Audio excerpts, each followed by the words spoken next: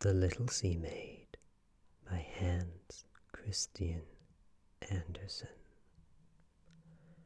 Far out in the sea, the water is as blue as the petals of the most beautiful cornflower and as clear as the purest glass.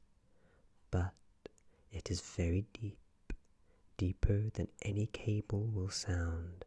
Many steeples must be placed one above the other to reach from the bottom to the surface of the water, and down there live the sea people. Now, you must not believe there is nothing down there but the bare sand. No. The strangest trees and plants grow there, so pliable in their stalks and leaves that at the least motion of the water they move just as if they had life. All fishes, great and small, glide among the twigs, just as here the birds do in the trees. In the deepest spots of all lies the Sea King's castle.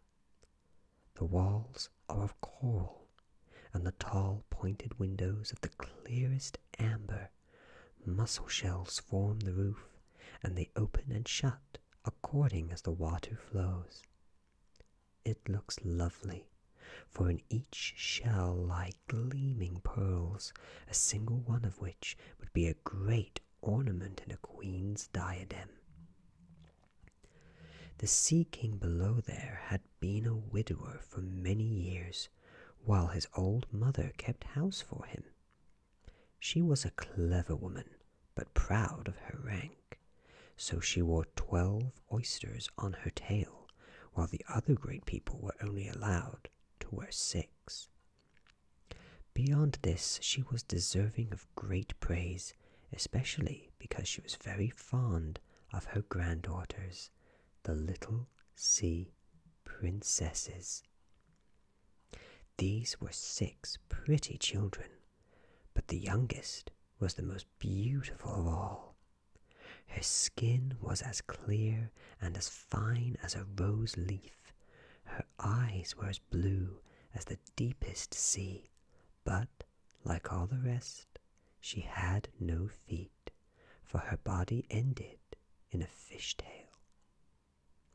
All day long they could play in the castle, down in the halls, where living flowers grew out of the walls. The great amber windows were opened, and then the fishes swam into them, just as the swallows fly into us when we open our windows. But the fishes swam straight up to the princesses, ate out of their hands, and let themselves be stroked. Outside the castle was a great garden with bright red and dark blue flowers. The fruit glowed like gold, and the flowers like flames of fire, and they continually kept moving their stalks and leaves. The earth itself was the finest sand, but blue as the flame of brimstone. A peculiar blue radiance lay upon everything down there. One would have thought oneself high in the air, with the canopy of heaven above and around, rather than at the bottom of the deep sea. During a calm, the sun could be seen. It appeared like a purple flower from which all light streamed out. Each of the little princesses had her own little place in the garden where she might dig and plant at her good pleasure. One gave her flower bed the form of a whale. Another thought it might be better to make hers like a little mermaid. But the youngest made hers quite round like the sun and had only flowers which gleamed red as the sun itself. She was a strange child, quiet and thoughtful, and when the other sisters made a display of the beautiful things they had received out of wrecked ships, she would have nothing beyond the red flowers which resembled the sun except a pretty marble statue. This was a figure of a charming boy, hewn out of white clear stone, which had sunk down to the bottom of the sea from a wreck. She planted a pink weeping willow beside the statue. The tree grew famously and hung its fresh branches over the statue towards the blue sandy ground, where the shadow showed violet and moved like the branches themselves. It seemed as if the ends of the branches and the roots were playing together and wished to kiss each other. There was no greater pleasure for her than to hear of the world of men above them. The old grandmother had to tell all she knew of ships and towns, of men and animals. It seemed particularly beautiful to her that up on the earth the flowers shed fragrance, for they had none down at the bottom of the sea, and that the trees were green, and that the fishes which one saw there among the trees could sing so loud and clear that it was a pleasure to hear them. What the grandmother called fishes were the little birds. Otherwise, they could not have understood her, for they had never seen a bird.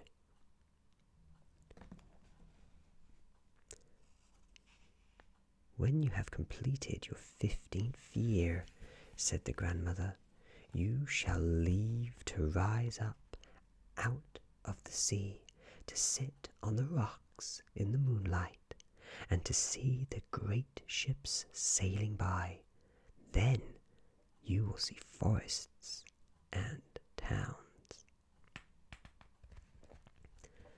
In the next year, one of the sisters was fifteen years of age, but each of the others was one year younger than the next, so that the youngest had full five years to wait before she could come up from the bottom of the sea and find out how our world looked.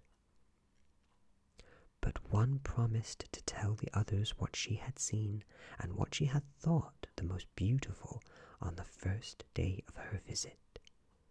For their grandmother could not tell them enough. There was so much about which they wanted information. No one was more anxious about these things than the youngest, just that one who had the longest time to wait and who was always quiet and thoughtful. Many a night she stood by the open window and looked up through the dark blue water at the fishes splashing with their fins and tails. Moon and stars she could see.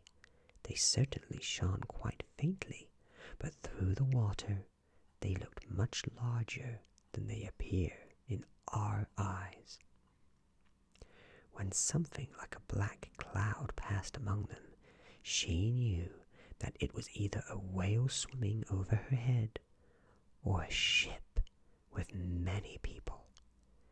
They certainly did not think that a pretty little sea maid was standing down below, stretching up her white hands towards the keel of their ship. Now the eldest princess was fifteen years old and might mount up to the surface of the sea. When she came back, she had a hundred things to tell, but the finest thing, she said, was to lie in the moonshine on a sandbank in the quiet sea and to look at the neighboring coast with the large town where the lights twinkled like a hundred stars, and to hear the music and the noise and the clamor of carriages and men, to see the many church steeples, and to hear the sound of the bells. Just because she could not get up to these. She longed for them more than anything. Oh, how the youngest sister listened! And afterwards, when she stood at the open window and looked up through the dark blue water, she thought of the great city with all its bustle and noise, and then she thought she could hear the church bells ringing even down to the depth where she was. In the following year, the second sister received permission to mount upward through the water and to swim whither she pleased. She rose up just as the sun was setting, and this spectacle, she said, was the most beautiful. The whole sky looked like gold, she said, and as to the clouds, she could not properly describe their beauty. They sailed away over her head, purple and violet colored, but far quicker than the clouds there flew a flight of wild swans, like a long white veil over the water towards where the sun stood. She swam towards them, but the sun sank, and the roseate hue faded on the sea and in the clouds. In the following year, the next sister went up. She was the boldest of them all, and therefore she swam up a broad stream that poured its waters into the sea. She saw glorious green hills clothed with vines, palaces and castles peeped forth from amid splendid woods. She heard how all the birds sang, and the sun shone so warm that she was often obliged to dive under the water to cool her glowing face. In a little bay, she found a whole swarm of little mortals. They were quite naked and splashed about in the water. She wanted to play with them, but they fled in a fright, and a little black animal came. It was a dog, but she had never seen a dog, and it barked at her so terribly that she became frightened and made out to the open sea. But she could never forget the glorious woods, the green hills, and the pretty children who could swim in the water though they had not fish tails. The fourth sister was not so bold. She remained out in the midst of the wild sea and declared that just there it was most beautiful. One could see for many miles around, and the sky above looked like a bell of glass. She had seen ships, but only in the far distance. They looked like seagulls, and the funny dolphins had thrown somersaults, and the great whales spouted out water from their nostrils, so that it looked like hundreds of fountains all around. Now came the turn of the fifth sister. Her birthday came in the winter, and so she saw what the others had not seen the first time. The sea looked quite green, and great icebergs were floating about. Each one appeared like a pearl, she said, and yet was much taller than the church steeples built by men. They showed themselves in the strangest forms and shone like diamonds. She had seated herself upon one of the greatest of all, and let the wind play with her long hair, and all the sailing ships tacked about in great alarm to get beyond where she sat. But towards evening, the sky became covered with clouds. It thundered and lightened, and the black waves lifted the great ice blocks high up and let them glow in the red glare. On all the ships the sails were reefed, and there was fear and anguish. But she sat quietly upon her floating iceberg and saw the forked blue flashes dart into the sea.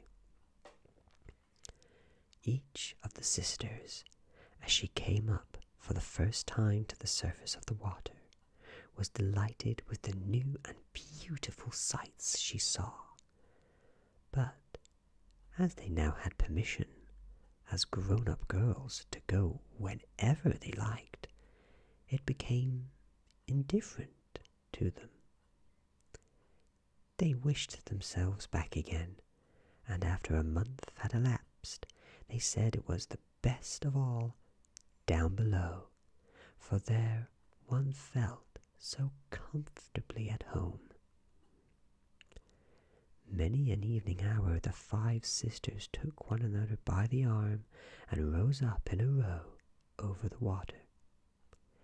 They had splendid voices, more charming than any mortal could have, and when a storm was approaching, so that they might expect that ships would go down, they swam on before the ships and sang lovely songs, which told how beautiful it was at the bottom of the sea, and exhorted the sailors not to be afraid to come down. But these could not understand the words, and thought it was the storm sighing, and they did not see the splendors below, for if the ship sank, they were drowned and came as corpses to the Sea King's palace. When the sisters thus rose up, arm in arm, in the evening time through the water, the little sister stood all alone looking after them, and she felt as if she must weep. But the sea maid has no tears, and for this reason she suffers far more acutely. Oh, if I were only fifteen years old, said she. I know I shall love the world up there very much, and the people who live and dwell there. At last, she was really fifteen years old. Now, you see, you are grown up, said the grandmother, the old dowager. Come, let me adorn you like your sisters. And she put a wreath of white lilies in the little maid's hair, but each petal in the flower was half a pearl, and the old lady let eight great oysters attach themselves to the princess's tail in token of her high rank. But that hurts so, said the little sea maid. Yes, one must suffer something for the sake of rank, replied the old lady. Oh, how glad she would have been to shake off all the tokens of rank and lay aside the heavy wreath. Her red flowers in the garden suited her better, but she could not help it. Farewell, she said, and then she rose, light and clear as a water bubble, up up, up through the sea. The sun had just set when she lifted her head above the sea, but all the clouds still shone like roses and gold, and in the pale red sky the evening star gleamed bright and beautiful. The air was mild and fresh, and the sea quite calm there lay a great ship with three masts. One single sail only was set, for not a breeze stirred, and around in the shrouds and on the yards sat the sailors. There was music and singing, and as the evening closed in, hundreds of colored lanterns were lighted up and looked as if the flags of every nation were waving in the air. The little sea maid swam straight to the cabin window, and each time the sea lifted her up, she could look through the panes, which were clear as crystal, and see many people standing within dressed in their best. But the handsomest of all was the young prince with the great black eyes. He was certainly not much more than sixteen years old. It was his birthday, and that was the cause of all this festivity. The sailors were dancing upon deck, and when the young prince came out, more than a hundred rockets rose into the air. They shone like day, so that the little sea maid was quite startled and dived under the water. But soon she put out her head again, and then it seemed just as if all the stars of heaven were falling down upon her. She had never seen such fireworks. Great suns whirled around, glorious fiery fishes flew up into the blue air, and everything was mirrored in the clear blue sea.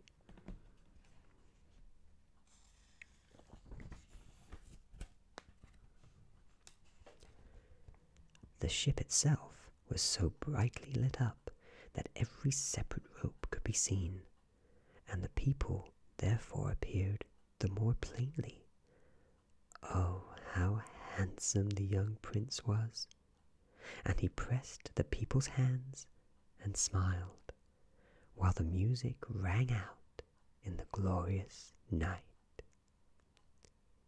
It became late, but the little sea maid could not turn her eyes from the ship and from the beautiful prince.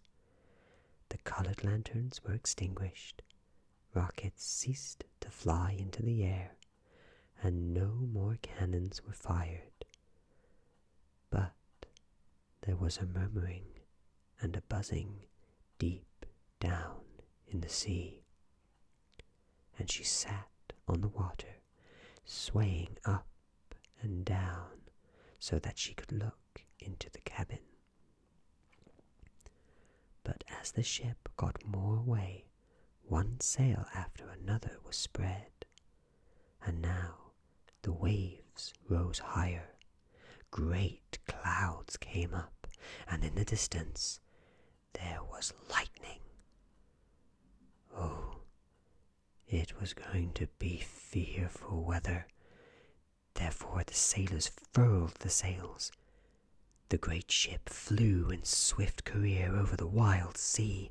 The waters rose up like great black mountains which wanted to roll over the masts, but like a swan the ship dived into valleys between these high waves, and then let itself be lifted on high again. To the little sea maid, this seemed merry sport, but to the sailors it appeared very differently.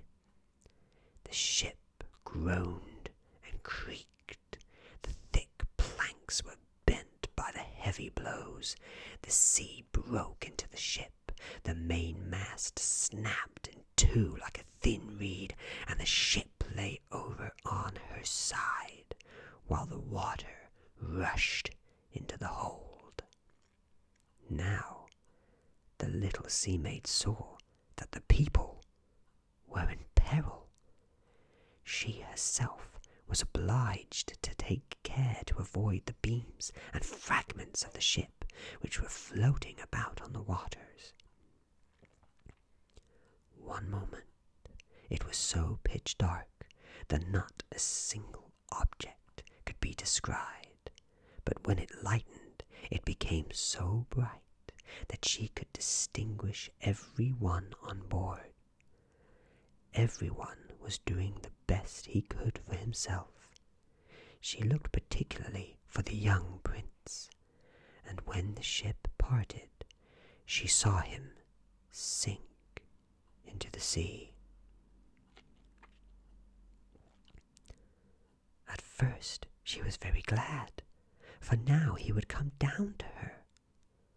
But then she remembered that people could not live in the water, and that when he got down to her father's palace, he would certainly be dead. No, he must not die. So she swam about among the beams and planks that strewed the surface, quite forgetting that one of them might have crushed her. Diving down deep under the water, she again rose high up among the waves, and in this way she at last came to the prince, who could scarcely swim longer in that stormy sea. His arms and legs began to fail him.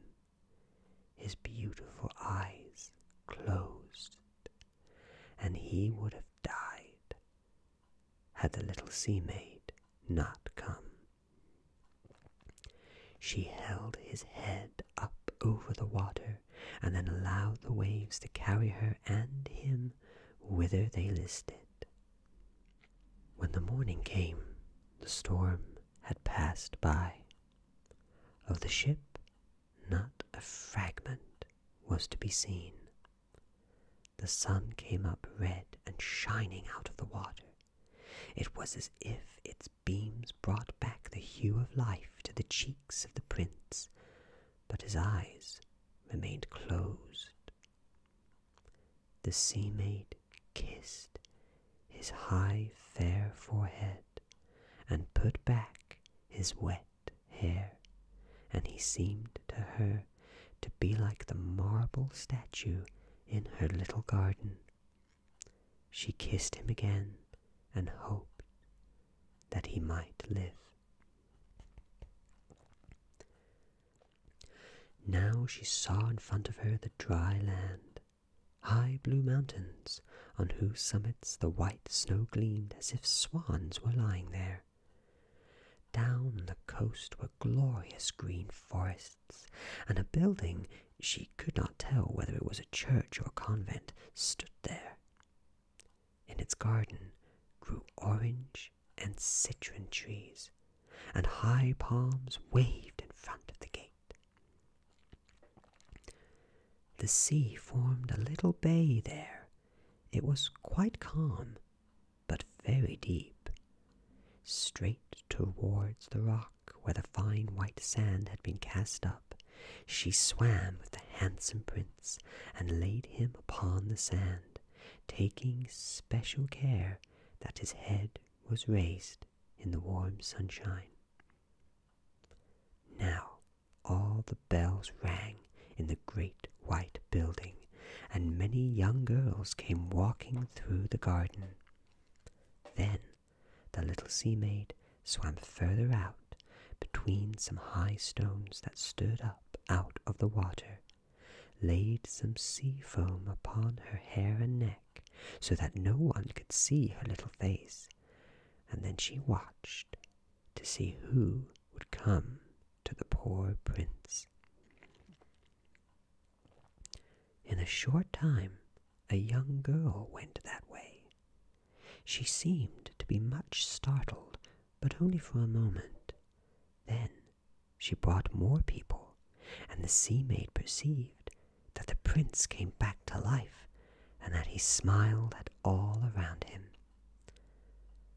But he did not cast a smile at her. He did not know that she had saved him and she felt very sorrowful. And when he was taken away into the great building, she dived mournfully under the water and returned to her father's palace. She had always been gentle and melancholy, but now she became much more so. Her sisters asked her what she had seen the first time she rose up to the surface, but she would tell them nothing. Many an evening and many a morning she went up to the place where she had left the prince. She saw how the fruits of the garden grew ripe and were gathered. She saw how the snow melted on the high mountain, but she did not see the prince, and so she always returned home more sorrowful still. Then her only comfort was to sit in her little garden and to wind her arms round the beautiful marble statue that resembled the prince. But she did not tend her flowers. They grew as if in a wilderness over the paths and trailed their long leaves and stalks up into the branches of trees so that it became quite dark there. At last she could endure it no longer, and told all to one of her sisters. And then the others heard of it too. But nobody knew of it beyond these, and a few other sea maids, who told the secret to their intimate friends. One of these knew who the prince was. She too had seen the festival on board the ship and she announced whence he came and where his kingdom lay. Come, little sister, said the other princesses, and linking their arms together, they rose up in a long row out of the sea at the place where they knew the prince's palace stood. This palace was built of a kind of bright yellow stone with great marble staircases, one of which led directly down into the sea. Over the roof rose splendid gilt cupolas, and between the pillars which surrounded the whole dwelling stood marble statues which looked as if they were alive. Through the clear glass in the high windows, one looked into the glorious halls where costly silk hangings and tapestries were hung up, and all the walls were decked with splendid pictures, so that it was a perfect delight to see them. In the midst of the greatest of these halls, a great fountain splashed. Its jets shot high up towards the glass dome in the ceiling, through which the sun shone down upon the water and upon the lovely plants growing in the great basin. Now she knew where he lived, and many an evening and many a night she spent there on the water. She swam far closer to the land than any of the others would have dared to venture. Indeed, she was quite up the narrow channel under the splendid marble balcony, which threw a broad shadow upon the water. Here she sat and watched the young prince, who thought himself quite alone in the bright moonlight. Many an evening she saw him sailing amid the sounds of music. In his costly boat with the waving flags, she peered up through the green reeds, and when the wind caught her silver white veil, and anyone saw it, they thought it was a white swan spreading its wings. Many a night, when the fishermen were on the sea with their torches, she heard much good told of the young prince, and she rejoiced that she had saved his life when he was driven about half dead on the wild billows. She thought how quietly his head had reclined on her bosom, and how heartily she had kissed him. But he knew nothing of it, and could not even dream of her. More and more she began to love mankind, and more and more she wished to be able to wander out among those whose world seemed far larger than her own. For they could fly over the sea in ships and mount up the high hills far above the clouds, and the lands they possessed stretched out in woods and fields farther than her eyes could reach.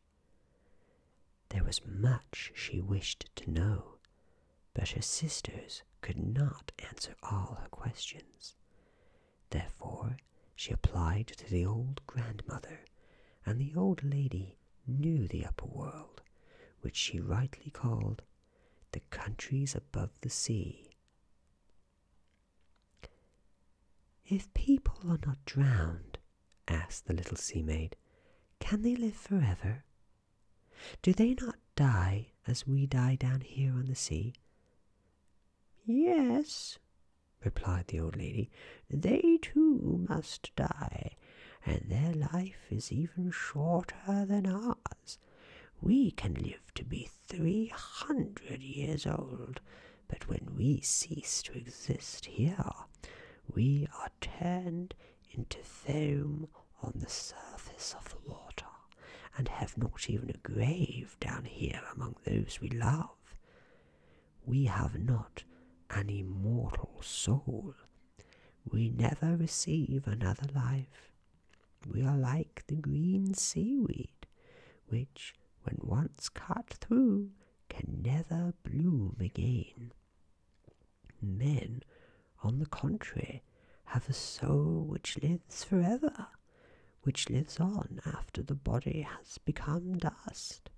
It mounts up through the clear air, up toward the shining stars. As we rise up out of the waters and behold all the lands of the earth, so they rise up to an unknown, glorious place which we can never see. Why did we not receive an immortal soul? asked the little sea maid sorrowfully. I would gladly give all the hundreds of years I have to be a human being only for one day and to have a hope of partaking the heavenly kingdom. You must not think of that, replied the old lady. We feel ourselves far more happy and far better than mankind yonder. Then I am to die and to float as foam upon the sea, not hearing the music of the waves, nor seeing the pretty flowers and the red sun. Can I not do anything to win an immortal soul? No, answered the grandmother. Only if a man were to love you so that you should be more to him than father or mother, if he should cling to you with his every thought and with all his love, and let the priest lay his right hand in yours with a promise of faithfulness here and in all eternity, then his soul would be imparted to your body, and you would receive a share of the happiness of mankind. He would give a soul to you and yet retain his own. But that can never come to pass. What is considered beautiful here in the sea, the fish tail, they would consider ugly on the earth. They don't understand it. There one must have two clumsy supports which they call legs to be called beautiful. Then the sea maid sighed and looked mournfully upon her fish tail. Let us be glad, said the old lady. Let us dance and leap in the three hundred years we have to live. That is certainly long enough. After that, we can rest ourselves all the better. This evening we shall have a court ball. It was a splendid sight, such as is never seen on earth. The walls and the ceiling of the great dancing saloon were all of thick but transparent glass. Several hundreds of huge shells, pink and grass green, stood on each side in rows, filled with a blue fire which lit up the whole hall and shone through the walls, so that the sea without was quite lit up. One could see all the innumerable fishes, great and small, swimming towards the glass walls. Of some the scales gleamed with purple, while in others they shone like silver and gold. Through the mist of the hall flowed a broad stream, and on this the seamen and sea women danced to their own charming songs. Such beautiful voices the people of the earth have not. The little sea maid sang the most sweetly of all, and the whole court applauded her, and for a moment she felt gay in her heart, for she knew she had the loveliest voice of all in the sea or on the earth. But soon she thought again of the world above her. She could not forget the charming prince, or her sorrow at not having an immortal soul like his. Therefore, she crept out of her father's palace, and while everything within was joy and gladness, she sat melancholy in her little garden. Then she heard the bugle horn sounding through the waters and thought, Now he is certainly sailing above, he whom I love more than father or mother he on whom my wishes hang, and in whose hand I should like to lay my life's happiness. I will dare everything to win him and an immortal soul. While my sisters dance yonder in my father's palace, I will go to the sea witch, of whom I have always been so much afraid. Perhaps she can counsel and help me. Now the little sea maid went out of her garden to the foaming whirlpools behind which the sorceress dwelt. She had never travelled that way before. No flowers grew there, no sea grass. Only the bare grey sand stretched out towards the whirlpools where the water rushed around like warring mill wheels and tore down everything it seized into the deep. Through the mist of these rushing whirlpools, she was obliged to pass to get into the domain of the witch, and for a long way there was no other road except one which led over warm, bubbling mud. This the witch called her peat moss. Behind it lay her house in the midst of a singular forest in which all the trees and bushes were polypes, half animals, half plants. They looked like hundred headed snakes growing out of the earth. All the branches were long, slimy arms with fingers like supple snakes, and they moved joint by joint from the root the farthest point. All that they could seize on in the water they held fast and never again let it go. The little sea maid stopped in front of them, quite frightened. Her heart beat with fear, and she was nearly turning back. But, but then she thought of the prince and the human soul, and her courage came back again. She bound her long flying hair closely around her head so that the polypes might not seize it. She put her hands together on her breast and then shot forward as a fish shoots through the water among the ugly polypes which stretched out their supple arms and fingers at her. She saw that each of them held something it had seized with hundreds of little arms like strong iron bands.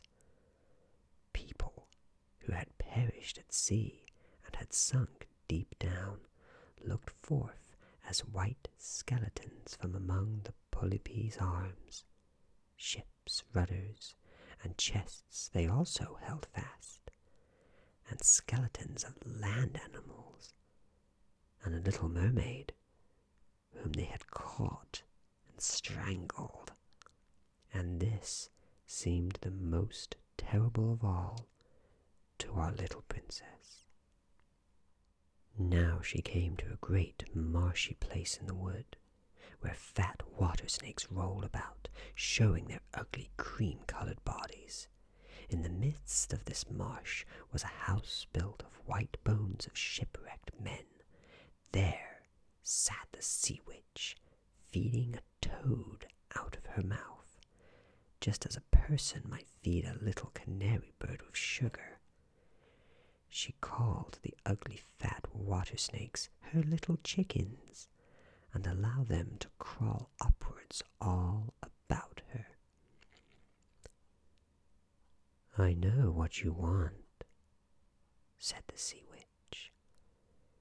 It is stupid of you, but you shall have your way, for it will bring you to grief, my pretty princess. You want to get rid of your fish tail and to have two supports instead of it, like those the people of the earth walk with, so that the young prince may fall in love with you and you may get him and an immortal soul. And with this, the witch laughed loudly disagreeably, so that the toad and the water snakes tumbled down to the ground where they crawled about. You come just in time, said the witch. After tomorrow at sunrise, I could not help you until another year had gone by. I will prepare a draft for you, with which you must swim to land tomorrow before the sun rises, and seat yourself there and drink it. Then your tail will part in two and shrink in and become what the people of the earth call beautiful legs. But it will hurt you. It will seem as if you were cut with a sharp sword. All who see you will declare you to be the prettiest human being they ever beheld. You will keep your graceful walk. No dancer will be able to move so lightly as you. But every step you take will be as if you trod upon sharp knives and as if your blood must flow. If you will bear all this, I can help you. Yes, said the little sea maid with a trembling voice, and she thought of the prince and the immortal soul. But remember, said the witch, when you have once received a human form, you can never be a sea maid again. You can never return through the water to your sisters or to your father's palace, and if you do not win the prince's love, so that he forgets father and mother for your sake, is attached to you heart and soul, and tells the priest to join your hands, you will not receive an immortal soul. on the first morning after he has married another, your heart will break and you will become foam upon the water. I will do it, said the little sea maid, but she became as pale as death. But you must pay me too, said the witch, and it is not a trifle that I ask. You have the finest voice of all here at the bottom of the water. With that you think to enchant him, but this voice you must give to me. The best thing you possess I will have for my costly draught. I must give you my own blood in it, so that the draught may be sharp as a two edged sword. But if you take away my voice, said the little sea maid, what will remain of me? Your beautiful form, replied the witch, your graceful walk, and your eloquent eyes. With those you can take captive a human heart. Well, have you lost your courage? Put out your little tongue, and then I will cut it off for my payment, and then you shall have the strong draught. Let it be so, said the little sea maid. And the witch put on her pot to brew the draught. Cleanliness is a good thing, said she, and she cleaned out the pot with the snakes, which she tied up in a big knot. Then she scratched herself and let her black blood drop into it. The steam rose up in the strangest forms, enough to frighten the beholder. Every moment the witch threw something else into the pot, and when it boiled thoroughly, there was a sound like the weeping of a crocodile.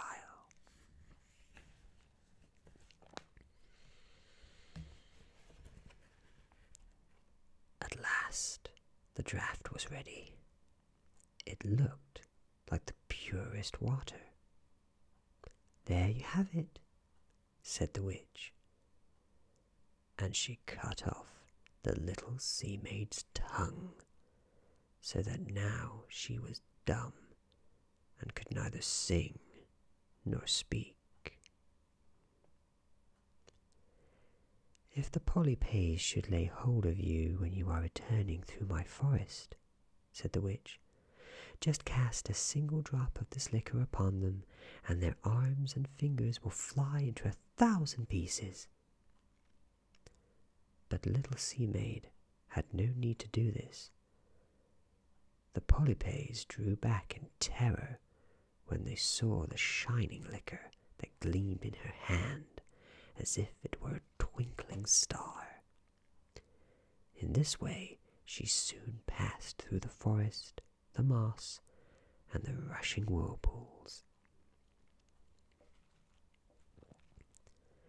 She could see her father's palace. The torches were extinguished in the great dancing hall, and they were certainly sleeping within. But she did not dare to go to them, now that she was dumb and was about to quit them forever. She felt as if her heart would burst with sorrow. She crept into the garden, took a flower from each of her sister's flower beds, blew a thousand kisses towards the palace, and rose up the dark blue sea. The sun had not yet risen when she beheld the prince's castle and mounted the splendid marble staircase. The moon shone beautifully clear. The little sea maid drank the burning, sharp draught, and it seemed as if a two edged sword went through her delicate body. She fell down in a swoon and lay as if she were dead. When the sun shone out over the sea, she awoke and felt a sharp pain. But just before her stood the handsome young prince. He fixed his coal black eyes upon her so that she cast down her own, and then she perceived that her fish tail was gone, and that she had the prettiest pair of white feet a little girl could have. But she had no clothes, so she shrouded herself in her long hair. The prince asked who she was and how she had come there, and she looked at him mildly, but very mournfully, and with her dark blue eyes, for she could not speak. Then he took her by the hand and led her into the castle. Each step she took, as the witch had told her, as if she had been treading on pointed needles and sharp knives. But she bore it gladly. At the prince's right hand she moved on, light as a soap bubble, and he, like all the rest, was astonished at her graceful swaying movements. She now received splendid clothes of silk and muslin. In the castle she was the most beautiful of all, but she was dumb and could neither sing nor speak.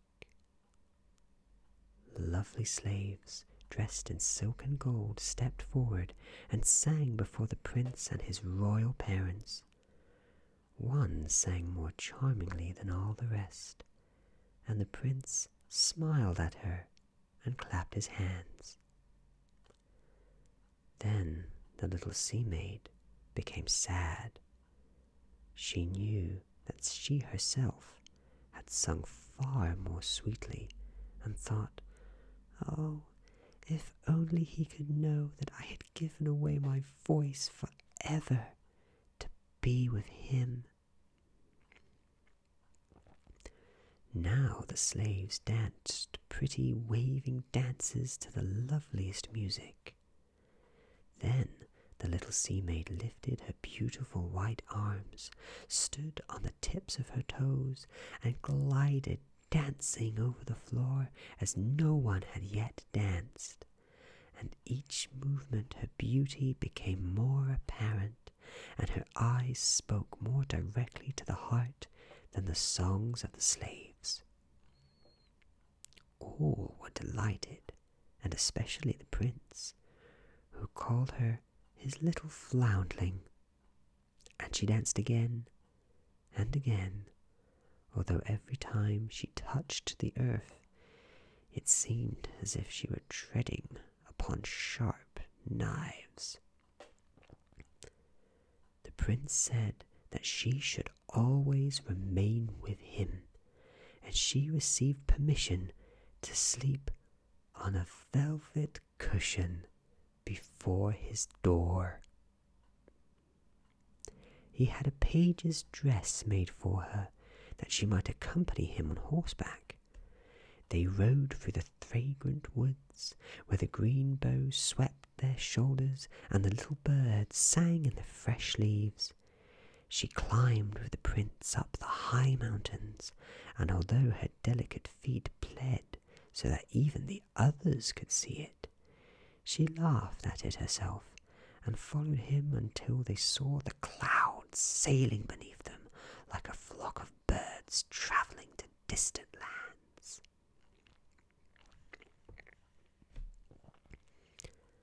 At home in the prince's castle, when the others slept at night, she went out onto the broad marble steps.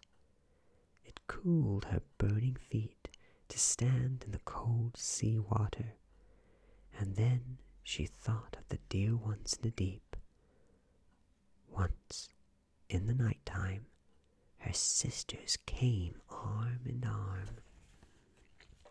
Sadly they sang as they floated above the water, and she beckoned to them, and they recognized her, and told her how she had grieved them all.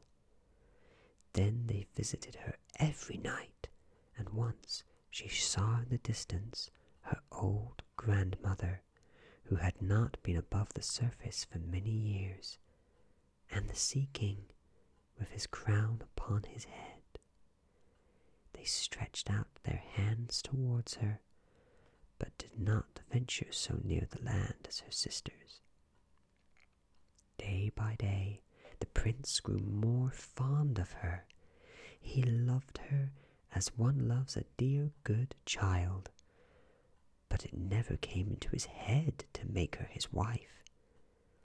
And yet she must become his wife, or she would not receive an immortal soul, and would have to become foam on the sea on his wedding morning. Do you not love me best of all? The eyes of the little sea maid seemed to say, when he took her in his arms and kissed her fair forehead. Yes, you are dearest to me, said the prince, for you have the best heart of them all.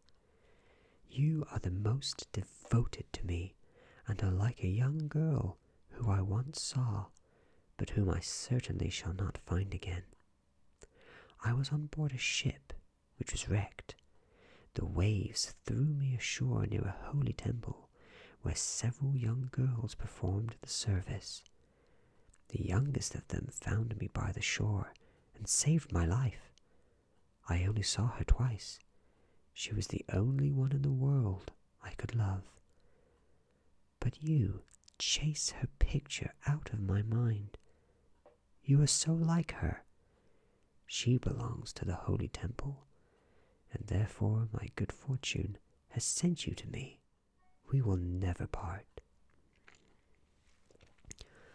Ah, he does not know that I saved his life, thought the little sea maid.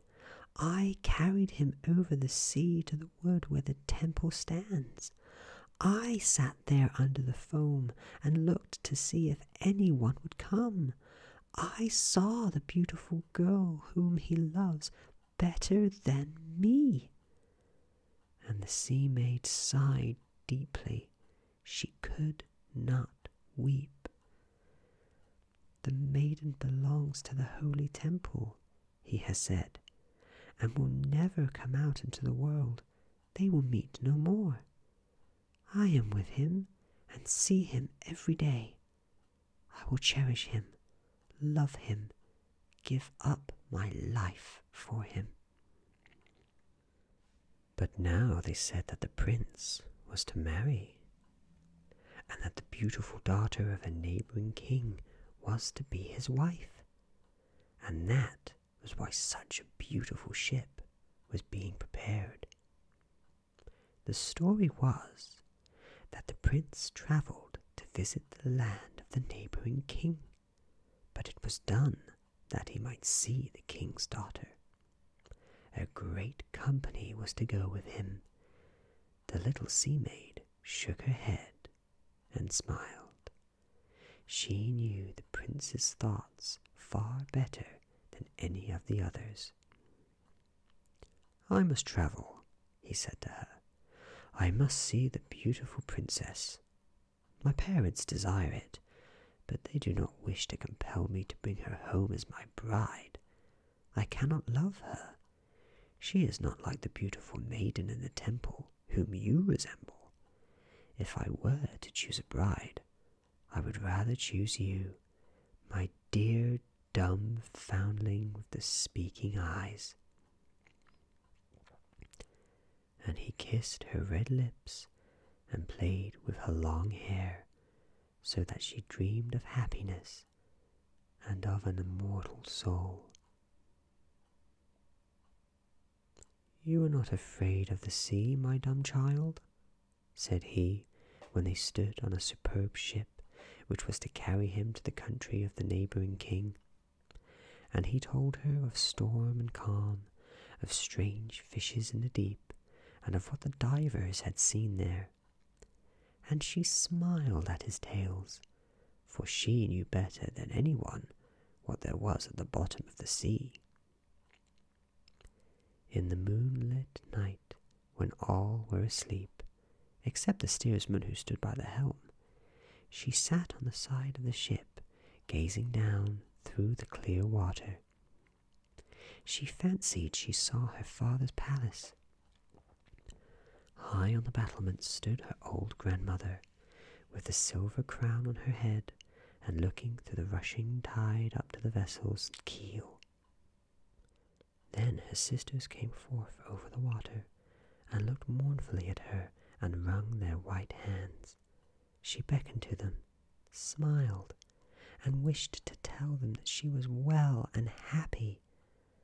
But the cabin boy approached her, and her sisters dived down, so that he thought the white objects he had seen were foam on the surface of the water. The next morning, the ship sailed into the harbor of the neighboring king's splendid city. All the church bells sounded, and from the high towers the trumpets were blown, while the soldiers stood there with flying colors and flashing bayonets. Each day brought some festivity with it. Balls and entertainments followed one another, but the princess was not yet there. People said she was being educated in a holy temple far away, where she was learning every royal virtue. At last she arrived.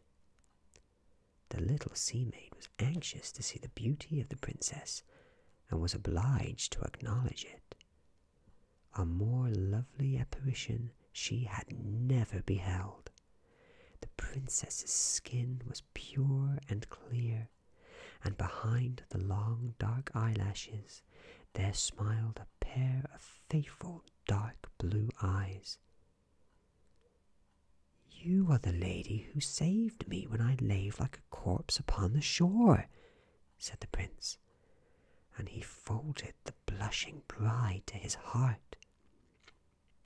Oh, I am too, too happy, he cried to the little sea maid. The best hope I could have is fulfilled. You will rejoice at my happiness, for you are the most devoted to me of them all. And the little sea maid kissed his hand, and it seemed already to her as if her heart was broken, for his wedding morning was to bring death to her and change her into foam on the sea. All the church bells were ringing, and heralds rode about the streets announcing the betrothal. On every altar, fragrant oil was burning in glorious lamps of silver. The priests swung their censers, and bride and bridegroom laid hand in hand and received the bishop's blessing. The little sea maid was dressed in cloth of gold and held up the bride's train, but her ears heard nothing of the festive music. Her eye marked not the holy ceremony. She thought of the night of her death and of all that she had lost in this world. On the same evening, the bride and bridegroom went on board the ship. The cannon roared, all the flags waved.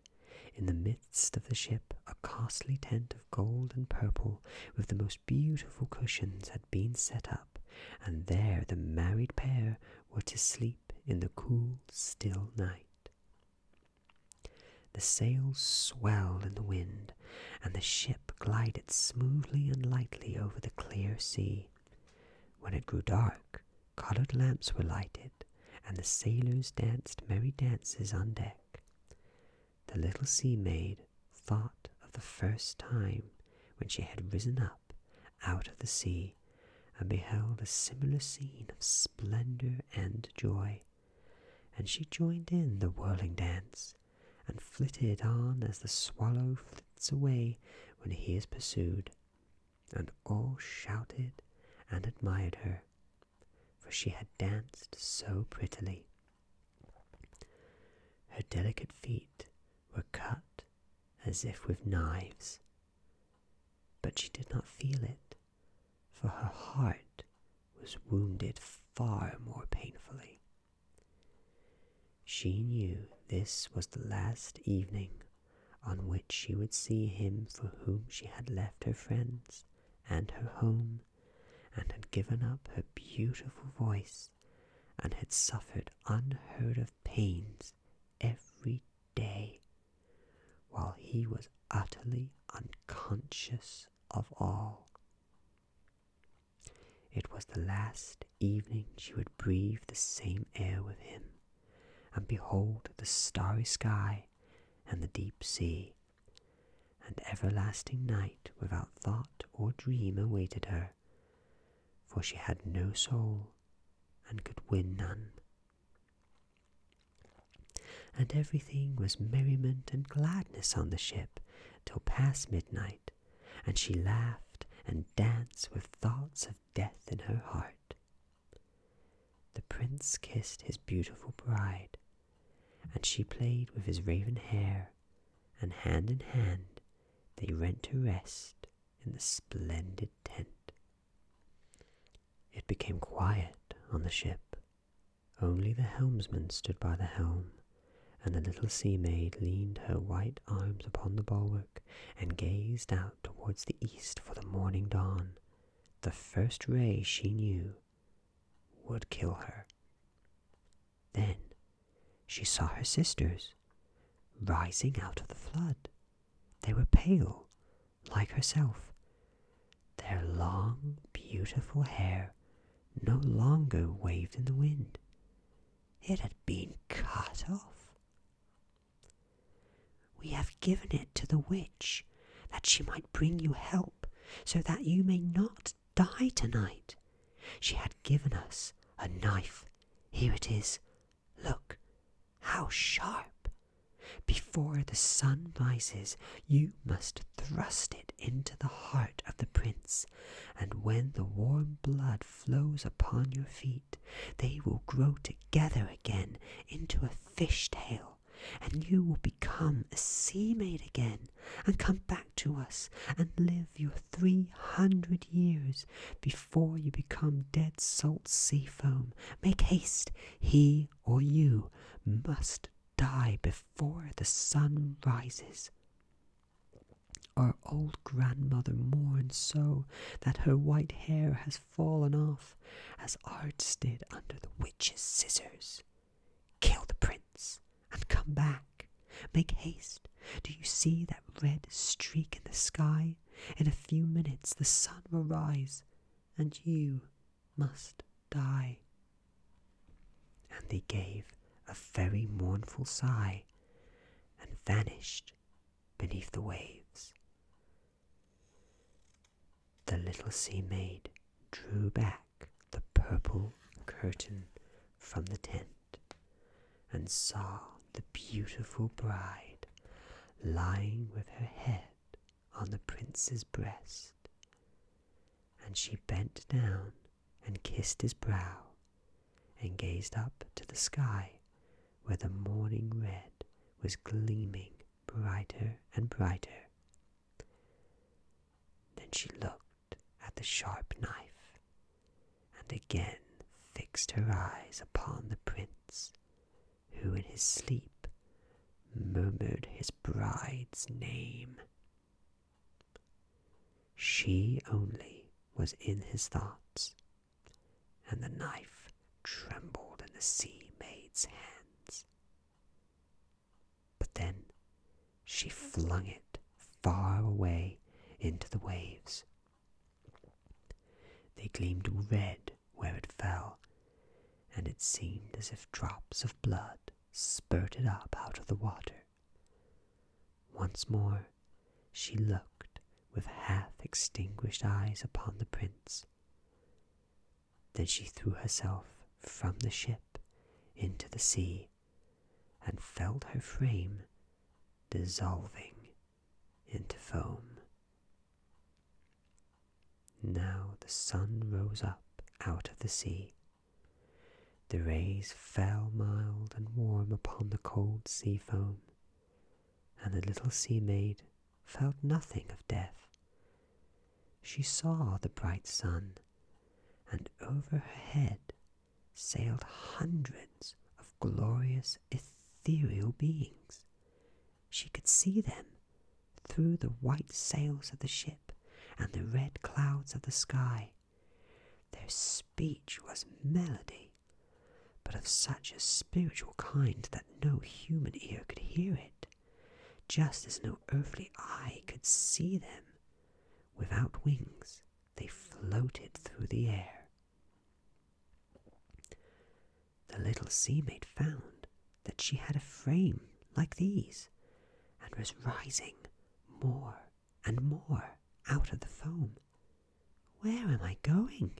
she asked, and her voice sounded like that of the other beings, so spiritual that no earthly music could be compared to it.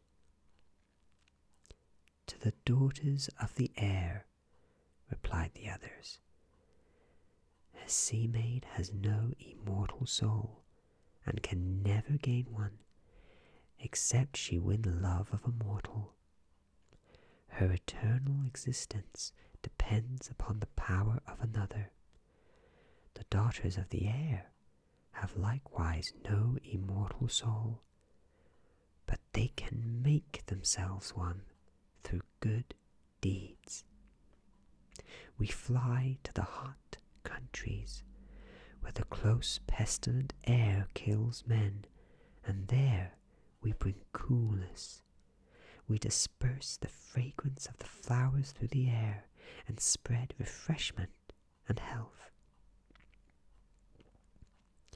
After we have striven for three hundred years to accomplish all the good we can bring about, we receive an immortal soul and take part in the eternal happiness of men. You, poor little sea maid, have striven with your whole heart after the goal we pursue. You have suffered and endured. You have, by good works, raised yourself to the world of spirits and can gain an immortal soul after three hundred years. And the little sea maid lifted her bright arms towards God's sun, and for the first time she felt tears. On the ship there was again life and noise. She saw the prince and his bride searching for her. Then they looked mournfully at the pearly foam, as if they knew that she had thrown herself into the waves. Invisible, she kissed the forehead of the bride, smiled to the prince, and mounted with the other children of the air on the rosy cloud which floated through the ether. After three hundred years, we shall thus float into paradise. And we may even get there sooner, whispered one. Invisibly, we float into the houses of men where children are, and for every day on which we find a good child that brings joy to its parents and deserves their love, our time of probation is shortened. The child does not know when we fly through the room, and when we smile with joy at the child's conduct, a year is counted off from the three hundred. But when we see a naughty or a wicked child, we shed tears of grief, and for every tear a day is added to our time of trial. The end.